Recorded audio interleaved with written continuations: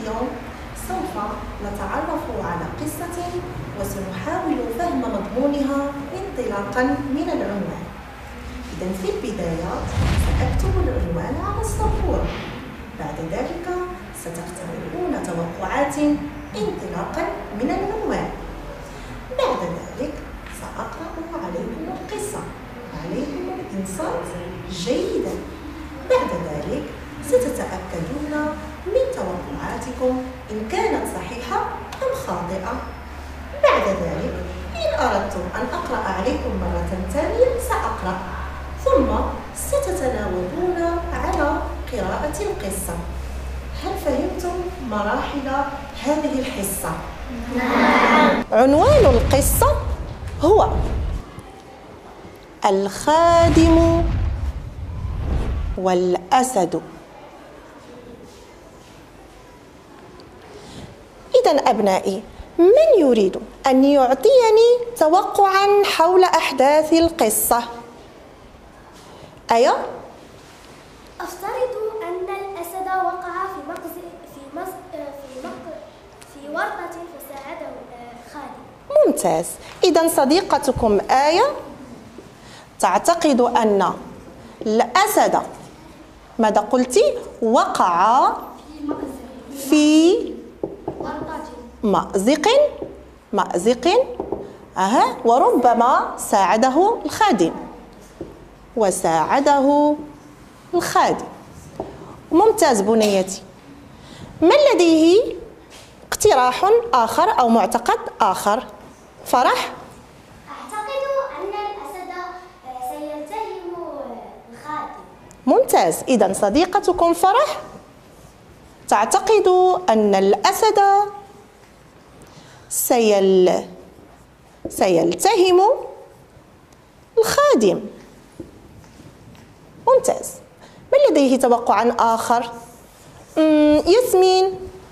أتوقع أن أتوقع أن أن الخادم يزور الأسد في حديقة الحيوانات. ممتاز.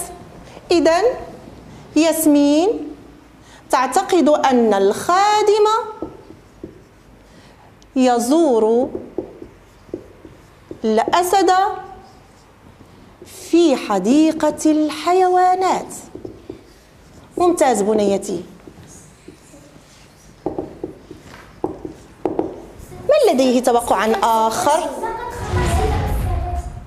يزور ماذا نسيت؟ حرف. ممتاز. أبنائي تصفيقات عليكم. يزور. ممتاز. لديه توقع آخر؟ وئام أعتقد أن الأسد يريد مساعدة الخادم. ممتاز. إذا نعتقد أن الأسد يريد مساعدة الخادم. الأسد يساعد الخادم.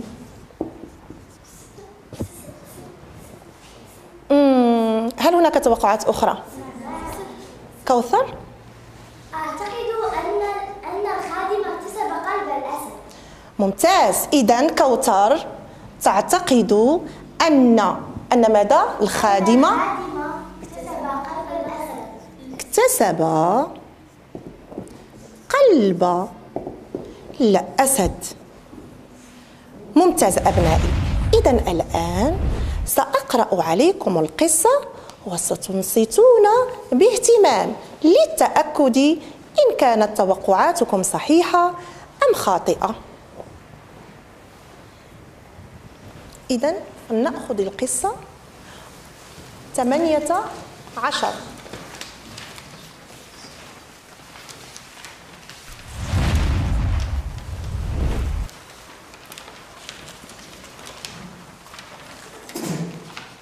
إذا سأقرأ القصة وأطلب منكم أن تنصتوا جيدا وتضعون أصبعكم تحت كل كلمة أقرأها هل أنتم مستعدون؟ نعم يحكى أن أحد الخدم كان يتعرض لمعاملة سيئة من سيده فهرب في أحد الأيام إلى الغابة وهناك صادف أسدا يتألم بسبب شوكة مغروسة في قدمه فاقترب منه الخادم وانتزع الشوكة برفق. بعد عدة أيام خرج السيد في رحلة صيد قبض على الأسد وعلى الكثير من الحيوانات كما قبض على الخادم أيضا. وعقابا له رماه في قفص الأسد كي يلتهمه وكم كانت دهشة السيد عظيمة حين دنا الأسد من الخادم وراح يلعق وجهه كأنه حيوان أليف نجا الخادم من الموت بفضل صنيعه هل فهمتم القصة؟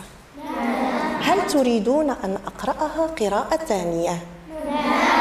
نعم إذا سأعيد القراءة وأطلب منكم مرة أخرى الاستماع جيدا ووضع من يعيد؟ ماذا أضع؟ تحت من يريد أن يجيب؟ آية وضع تحت كل تقرأها من؟ ممتاز إذا نضع أصابعنا يحكى أن أحد الخدم كان يتعرض لمعاملة سيئة من سيده. فهرب في أحد الأيام إلى الغابة وهناك صادف أسدا يتألم بسبب شوكة مغروسة في قدمه. فاقترب منه الخادم وانتزع الشوكة برفق بعد عدة أيام خرج السيد في رحلة صيد قبض على الأسد وعلى الكثير من الحيوانات كما قبض على الخادم أيضا. وعقابا له رماه في قفص الأسد كي يلتهمه وكم كانت دهشة السيد عظيمة حين دنا الأسد من الخادم وراح يلعق وجهه كأنه حيوان أليف.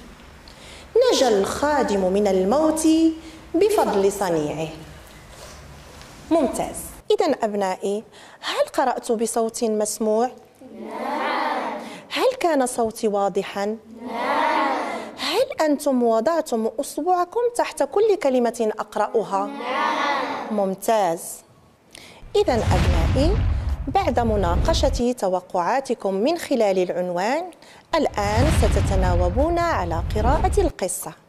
ولكن قبل ذلك علي أن أذكركم بشروط القراءة الصحيحة.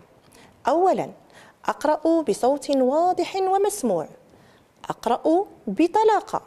ولا أنسى أن أضع أصبعي تحت كل كلمة أقرأها. إذا من يريد أن يعيد هذه الشروط؟ هدى أولا أقرأ بصوت واضح ومسموع ممتاز. ثانيا أقرأ بطلاقة. ممتاز. ثالثا أضع أصبعي تحت كل كلمة أقرأها. أبدعت بنيتي. إذا من يقرأ الفقرة الأولى؟ من يريد أن يقرأ الفقرة الأولى؟ ملك يحكى أن أحد الخدم كان يتعرض لمعاملة سيئة من من سيده فهرب في أحد الأيام إلى الغابة وهناك صادف أسدا يتألم بسبب بسبب شوكة مهروسة في قدمه فاقترب منه الخادم وانتزع الشوكة برفق ممتاز. إذا كيف كانت قراءة ملك؟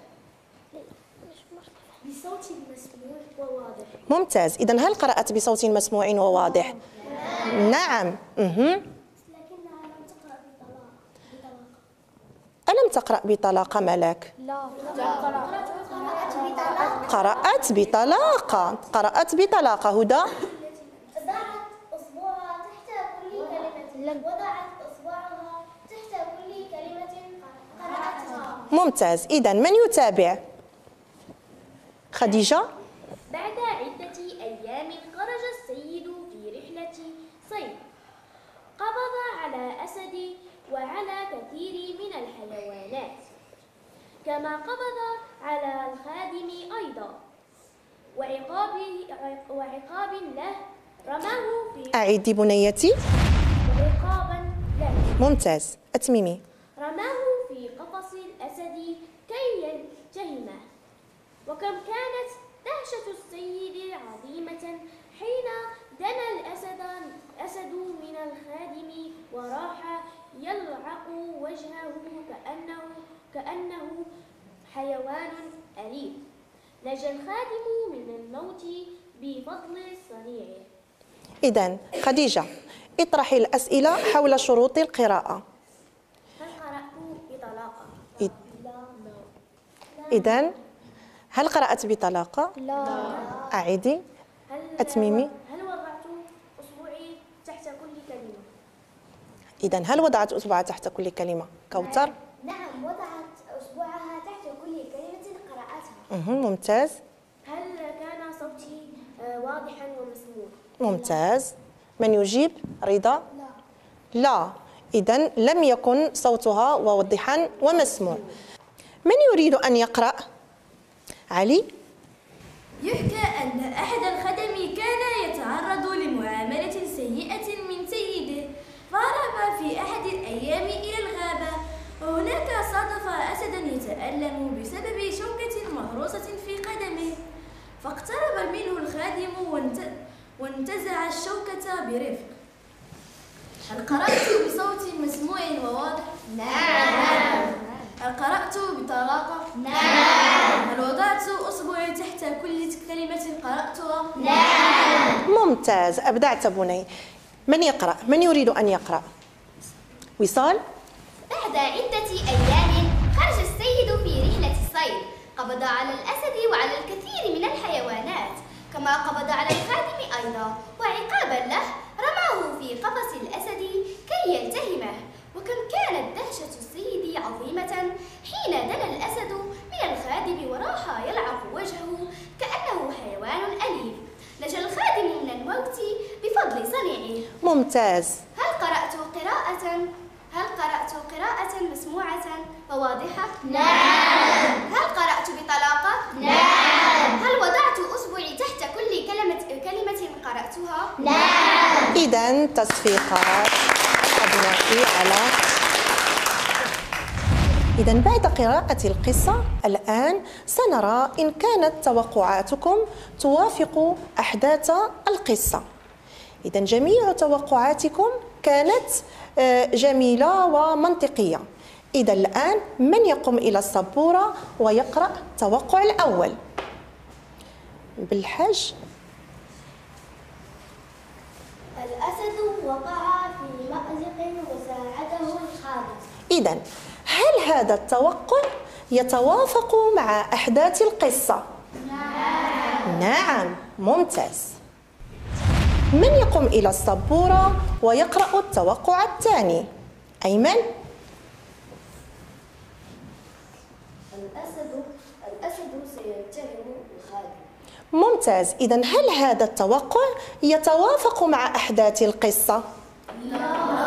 لا. إذا هو لا يتوافق مع أحداث القصة. آه يسرى. تفضلي بنيتي. الخادم يزور الأسد في حديقة الحيوانات. ممتاز. إذا هل هذا التوقع يتوافق مع أحداث القصة؟ لا لا إذا من يقوم ويقرأ التوقع الرابع؟ رضا الأسد يساعد الخادم إذا هل هذا التوقع صحيح؟ لا هذا التوقع ليس صحيحا من يقرأ التوقع الخامس؟ آه مريم. الخادم اكتسب قلب الأسد. إذا هنا لا أقول اكتسب. إذا أقول ممتاز. أقول كسب. الخادم كسب قلب الأسد. ممتاز. إذا هل هذا التو... آه، هل هذا التوقع يتوافق مع أحداث القصة؟ نعم. نعم. إذا هذا التوقع يتوافق مع أحداث القصة. كيف كسب الخادم قلب الأسد؟ في رأيكم كيف كسبه؟ من يجيب آية كسب الخادم قلب الأسد لأنه انتزع شوكة كانت مغروسة في يده وكان يتألم بسببه. هل تتفقون مع آية؟ لا. إذا صفقوا على آية. ممتاز.